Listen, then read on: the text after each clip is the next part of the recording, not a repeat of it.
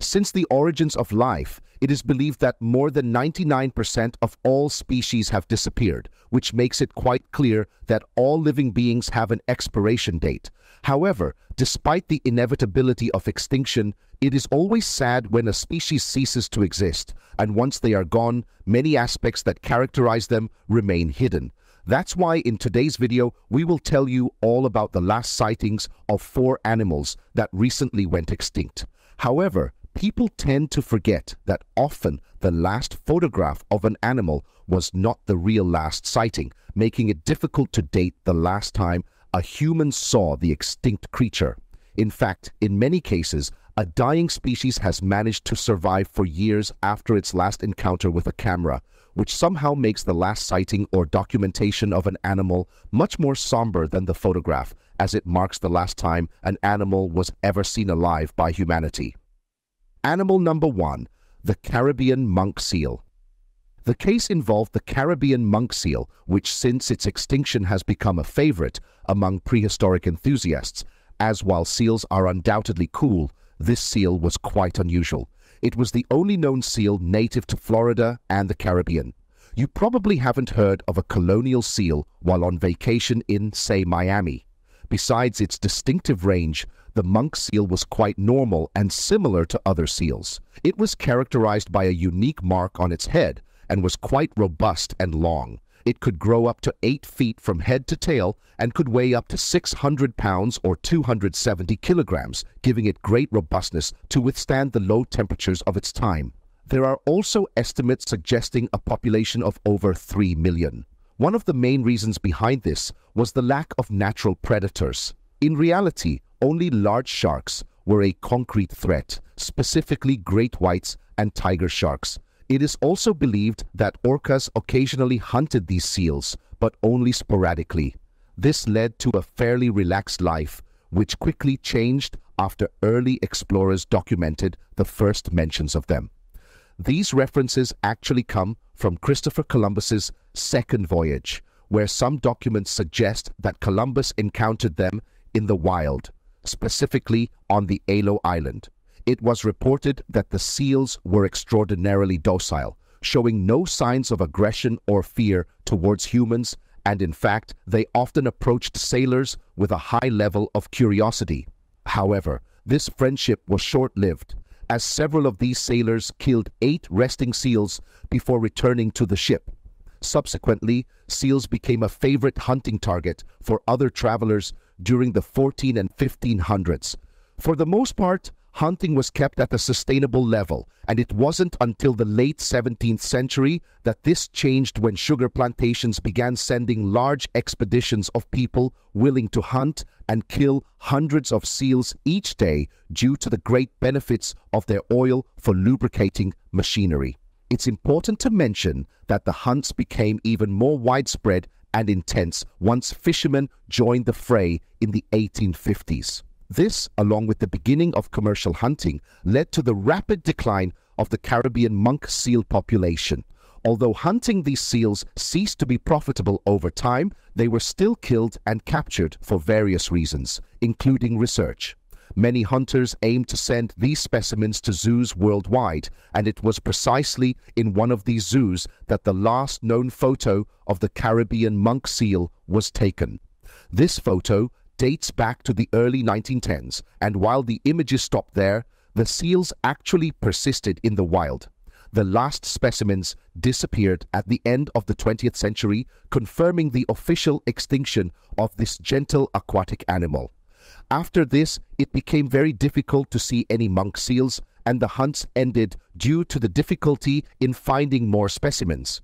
With the last known seal killing, they practically disappeared until 1952, when the director of the Jamaican Institute reported finding a small colony of no more than 60 seals. The colony, although small, was in good health and were probably the last of their species to be seen in their natural habitat. Strangely, after this, the Caribbean seal was seen again by some sailors who reported quick sightings during their sea voyages. However, these reports never provided solid results or concrete evidence of these encounters. Despite this, the Caribbean monk seal was officially declared extinct in 2008, After an extensive search that lasted several years, no successful results were found, marking the end of this gentle and friendly creature that disappeared unexpectedly and violently due to human greed.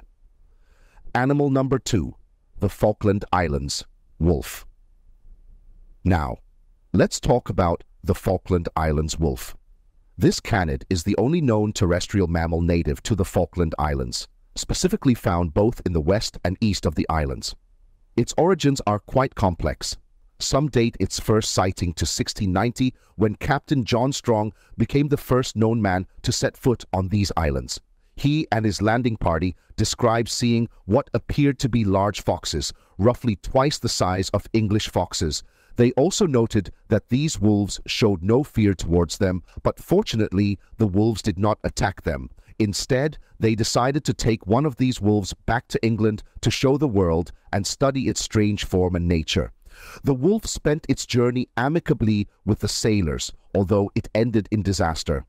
After several days at sea, the English ship carrying the canid was involved in a battle with a French ship. During this fierce conflict, the loud cannons scared the Falkland wolf, causing it to jump overboard and be lost at sea.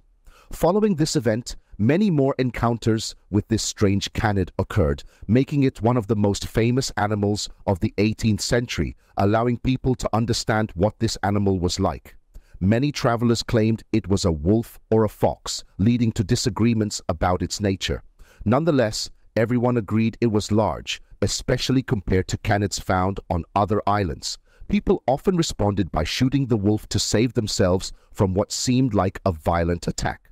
However, this fear of attack would someday disappear. Years later, specifically in 1964, the first European settlement was established on the islands, quickly increasing interactions between the settlers and the Falkland wolf. Also, it was at this time that researchers learned much more about this curious creature. One of these observations was the fact that there were two different variations based on where the wolf lived. In the west, the species was smaller and lighter in color, while in the eastern populations, the wolf tended to be larger and darker. Additionally, the wolf showed a very diverse diet, consuming insects, geese, penguins, and other small animals. But that's not all. In some cases, small groups of wolves were reported taking down large seals. This surprising hunt was carried out in packs, usually consisting of more than four individuals working together to feed during times of food scarcity. The Falkland wolf was also capable of hunting alone, thanks to its ability and lethality. Many saw the Falkland wolf as a fierce killer, leading settlers to kill it using poison and fire. These settlers also mistakenly thought the wolf was killing their livestock. However, it was eventually revealed that the sheep were simply confusing its howls with those of a dog, causing them to flee and escape. Nevertheless, settlers worked hard to eradicate the wolf, with fire becoming the preferred weapon. They even started fires across the island to burn the wolf. Amidst the chaos, groups of these wolves were seen trying to find refuge without success. Unfortunately, many of these wolves died in the fire, unjustly killed by settlers who initially grew fond of them, but then sought their extermination due to a misunderstanding.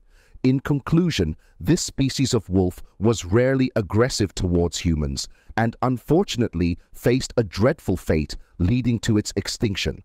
Animal number three, the quagga. This next animal is quite peculiar as at first glance it appears to be a horse, but it was an endemic zebra of South Africa with a unique trait. Researchers and scholars have classified it as a single species, but in reality, it was a subspecies of the common zebra with significant divergence from other subspecies.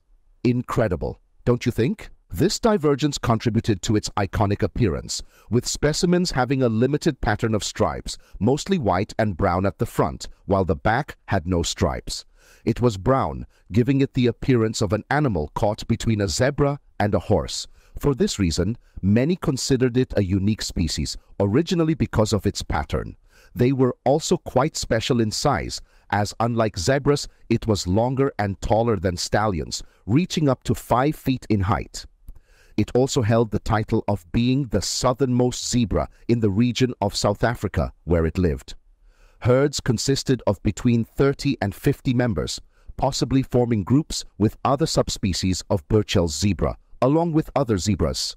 On the other hand, the Khoikhoi did not interact much with this animal, so it wasn't until Dutch settlers arrived that the quagga started to see more humans, and not in a good way. Unfortunately, the Dutch considered them easy and good food, so they began hunting them for personal consumption. The quagga survived with difficulty until 1883, but its species persisted until the 1930s when it presumably disappeared without a trace. Sadly, no photographs were taken of this solitary animal. Additionally, there is a sad story that potentially a quagga spent years wandering the wild, unaware that it was the last of its kind, which could potentially have been a tragedy. Animal number four, the sambar deer. A large species of deer native to Asia, specifically Thailand, it is recognized by its seven current subspecies that vary in aspects such as size and physical appearance. It resembles the muntjac, but constitutes a separate genus. It is the largest of all oriental deer. In general, the length from nose to tail is between 5 and 10 feet. Its height ranges from 3 to 5 feet at the shoulders, and its weight is usually in the range of 350 to 1200 pounds. However, some individuals can grow a bit larger. The largest male weighed up to 1200 pounds. There is marked sexual dimorphism as males are significantly larger and heavier than females and also have antlers up to 43 inches in length. People in Thailand still hunted them, specifically the first humans who entered Thailand. But for the most part, hunting was quite limited and only increased during the wet season when floods occurred. During this time, the sambar deer's habitat suffered greatly, leading to lower specimen numbers exacerbated by increased hunting. Also, with habitat loss, the deer were forced to venture more into human areas, falling into the hands of hunters, and within about 30 years, they had gone extinct. The last herd was seen in the early 20th century, and the remaining specimens rapidly decreased each year until only one remained. This last deer was seen around a temple in Samut Sakhon and was described as a deer with a friendly personality, this sounds like a somewhat happy ending for the last recorded sambar deer, and we hope it was for this gentle animal. If you liked this video, support us with your wonderful like and subscribe to our channel for more videos about the prehistoric world. Tell us, which of these four extinct animals caught your attention the most? Which one would you bring back from extinction? We'll be reading your comments. See you soon.